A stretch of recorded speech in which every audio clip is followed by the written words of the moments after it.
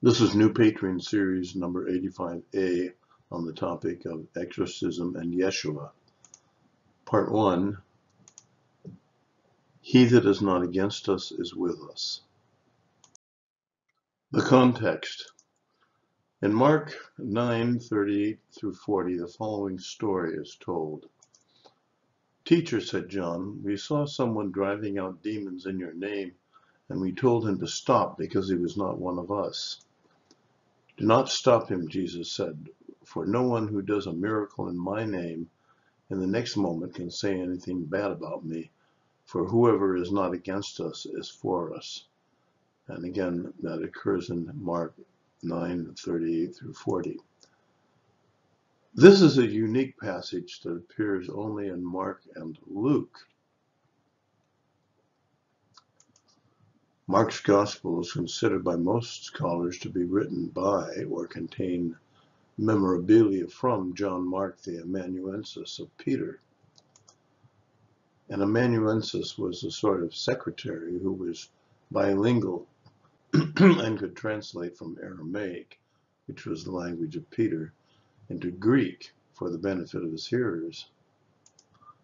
According to Eusebius in Ecclesiastical Histories, Peter had two amanuenses, uh, Silvanus or Silas, who prepared the first letter of Peter, and John Mark, who prepared the Gospel of Mark and accompanied Paul on his journeys. Mark 9 38 to 40 probably represents an historical event because it derives from the memorabilia of Peter through John Mark.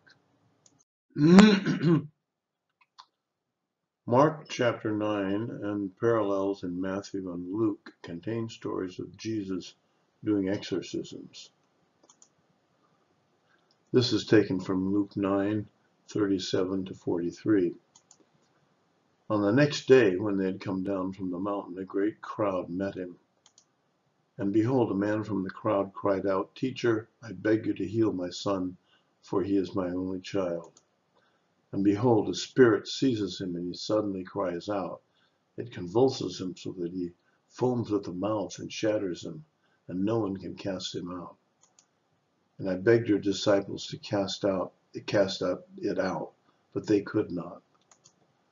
And Jesus answered, O faithless and twisted generation, how long am I to be with you and bear with you? Bring your son here. And while he was coming, the demon threw him to the ground and convulsed him. But Jesus rebuked, the unclean spirit and healed the boy and gave him back to his father.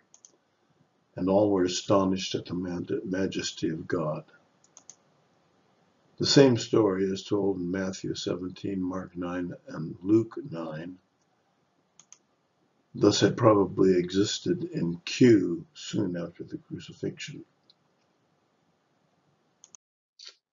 So what was exorcism in Yeshua's day? It was a process of casting out the Elilim.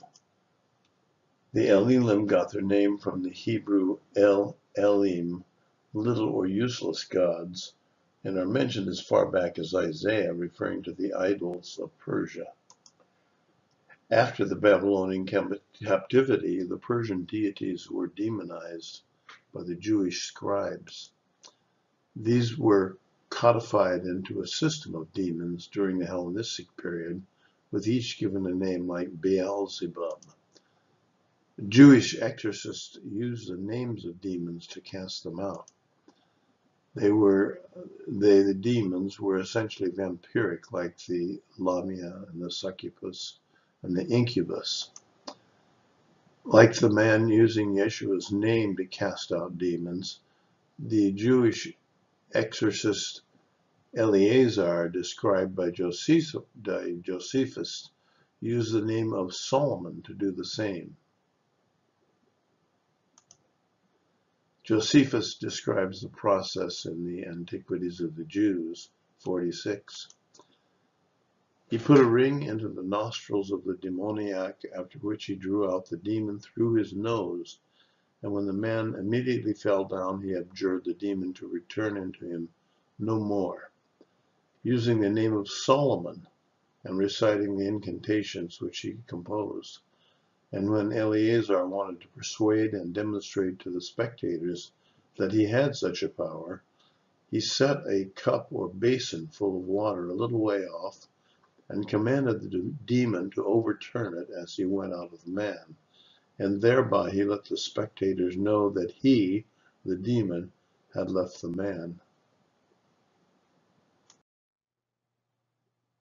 Now we're going to discuss the relationship between the Elilim and the Yetzer Hara. I've done a presentation on the Yetzer Hara in my previous uh, PowerPoints. Now, the Yetzer Hara is the evil inclination that lies in every heart. All human and other animate souls are constantly subject to dark forces through the evil inclination. Some people are more vulnerable or willingly make themselves vulnerable to obsession or possession by the Elilim by obeying the impulses of the evil inclination, such as selfishness. The Jewish exorcist drew authority from the archangelic allies of Solomonic magic to force the possessing Elila to give its name. Once the name was known, it could be commanded.